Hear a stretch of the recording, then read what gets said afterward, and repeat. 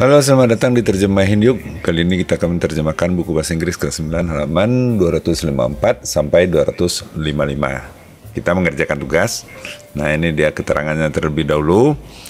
Bekerjalah dalam kelompok. Perhatikan pada iklan tersebut kembali. Pergunakan tabel di bawah ini untuk mengidentifikasi perbedaan jenis informasi yang tersedia pada iklan tersebut. Nah, tulis tangan, kerja kamu itu di selembar kertas. Pastikan kamu mengetahui makna dari masing-masing kata dan mengucapkannya secara benar. Pergunakan juga tanda baca secara benar. Ketika menulis, ucapkan kata-katanya secara keras, jelas dan benar. Pergunakan juga tanda baca secara benar. Analisa dari iklan uh, pisang kepok ya. Pisang kepok goreng ini telah dibuatkan untuk kalian sebagai contoh. Jadi pertama salin contoh tersebut. Pergunakan kamus. Jika ada masalah silakan bertanya kepada guru ya. Ini gurunya. Nah ini. Ini layanan ya eh, barang-barang uh, barang maksudnya barang apa yang dijual kalau servis layanan apa yang diberikan. Ya karena ini yang dijual adalah barang yaitu eh, pisang kepok goreng ya maka dicoret yang servis ini. Nah ini coret yang tidak mengacu pada objek yang dipromosikan. Ya itu tanda bintang ini itu maknanya. Jadi kalau misalnya layanan ya, misalnya layanan antar seperti iklan untuk ekspedisi, maka yang dicoret adalah goods bukan barang ya. Nah, variasinya apa? Coklat ya, variasi yang di yang dia yang dijual ber uh, pisang goreng pakai rasa coklat rasa uh, kelapa dan original. Nah, harganya ada Rp3.000 per per bungkus, isinya tiga potong. Nah, tempat, waktu dan tempat. Jadi dia buka di hari Rabu dan hari Jumat jam 12 sampai jam 3. Tempatnya adalah di kantin sekolah. Nah, ini uh, hubungan nomor telepon yang bisa kita hubungi. Ya, itu si Maria dan si Murni. Nah, ini kata-kata promosinya apa?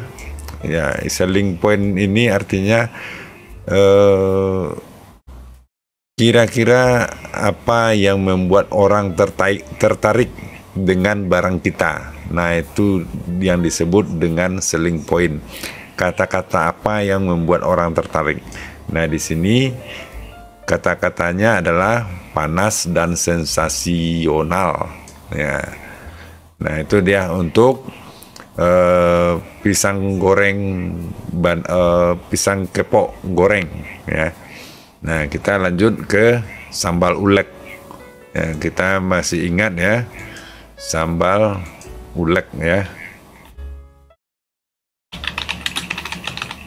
Atau Grand Mas ya. Sambal ulek. Nah, variasinya apa? Kita lihat di atas contohnya. Variasinya adalah bisa untuk seluruh keluarga dan yang malnya untuk anak-anak. Jadi ada dua variasi. Variasi barang yang dijual Ya, kita satu uh, sambal ulek for the whole family. Yang kedua adalah mild sambal ulek for kids. Nah, harga tidak ada. Ya. Jadi kalau harga bisa langsung ke uh, alamatnya nanti.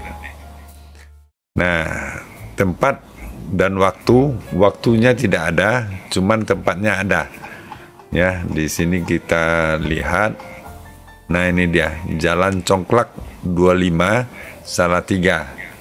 Nah, uh, untuk nomor telepon ini yang bisa dihubungi. Ya, kita tuliskan di bawah.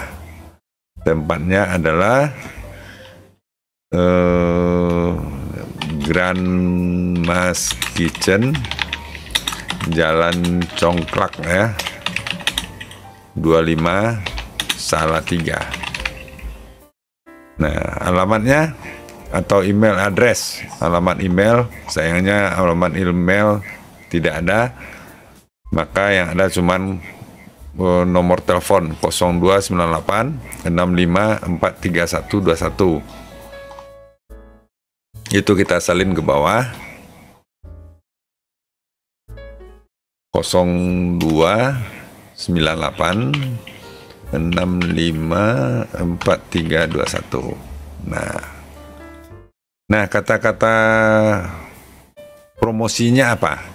Kita lihat ke atas. Kata-kata promosinya adalah perfection descended for decades. Nah, ini kata-kata promosinya. Kesempurnaan turun temurun dalam beberapa dekade. Jadi jadi ini adalah uh, resep turun temurun dari neneknya ya. Perfection descended for decade decade. Nah. Nah, itulah terjemahan kita kali ini untuk halaman 254 sampai 255 jangan lupa subscribe dan like. Sampaikan kepada guru dan teman. Mudah-mudahan bermanfaat. Sampai jumpa